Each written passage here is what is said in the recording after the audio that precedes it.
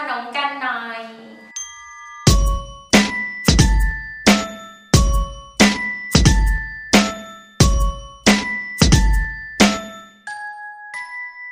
กับ Mickey's Homemade Treats เมื่อวานฝนตกหนักมากทำให้เราคิดถึงบรรยากาศในประเทศอังกฤษ ตอนนี้เราจะลองทำสโคนซึ่งเป็นขนมอังกฤษกันนะคะ ซึ่งสโคนก็มีหลายแบบ แบบหวานที่สามารถใส่ผลไม้แห้ง ใส่ลาเวนเดอร์ หรือว่าไม่ใส่อะไรเลย แล้วก็กินกับแยมหรือว่าครีมเท่านั้น แต่ถ้าเพื่อนๆชอบแบบเค็มนะคะ ก็มีชีสโคนด้วย ซึ่งสามารถดูได้ในวิดีโอของเราด้วยนะคะ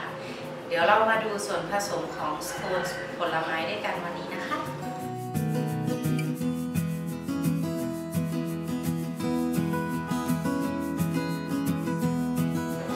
โคนนะคะเราจะใช้แป้ง self raising flour ซึ่งถ้า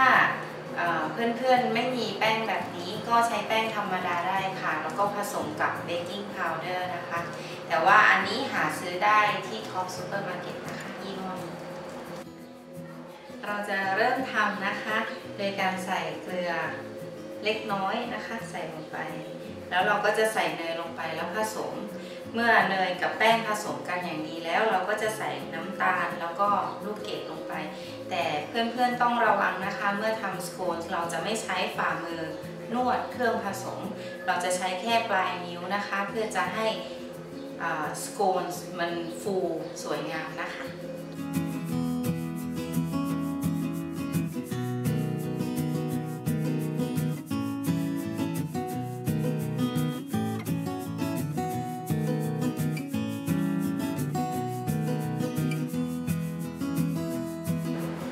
ตอนนี้ส่วนผสมแห้งก็พร้อมแล้วนะคะ อันนี้ก็คือไข่หนึ่งฟอง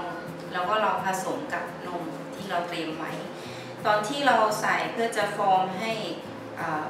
เนื้อสโคนเป็นก้อนโดนะคะ เราค่อยๆใส่เราอยากจะเหลือนิดนึงด้วยเพื่อจะทา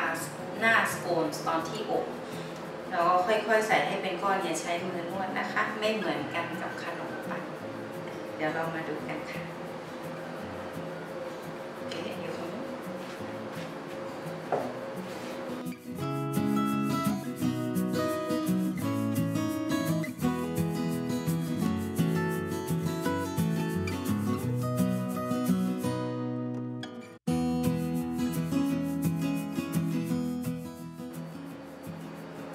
อนนี้สโคนพร้อมแล้วนะคะ เราจะ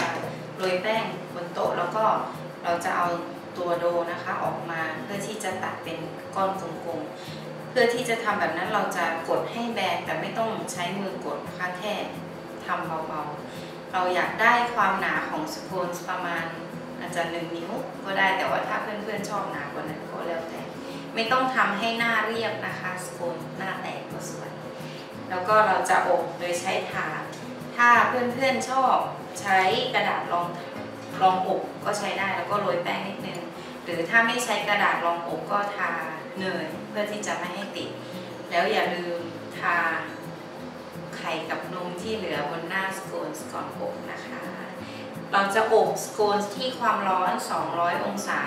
10-15 นาที ประมาณ 10 นาทีลองเช็คดูสักครั้งหนึ่งนะคะ เดี๋ยวเรามาดูวิธีตัดกัน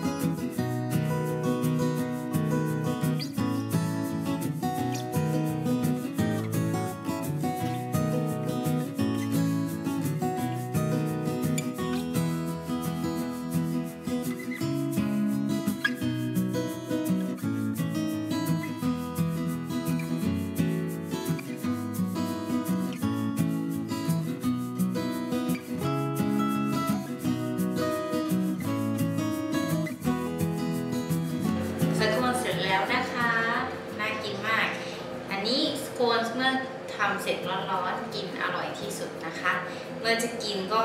อาจจะกินเฉยๆก็ได้ หรือถ้าใครชอบใส่ครีมกับแยมก็อร่อย อันนี้เป็นแยมสตรอเบอรี่ที่เราทำเองนะคะเดี๋ยวจะลองชิมดูอืมอร่อยมาก อืม อร่อยค่ะ ขอบคุณมากที่ดูวิดีโอ ของเรานะคะ อย่าลืมกด subscribe นะคะ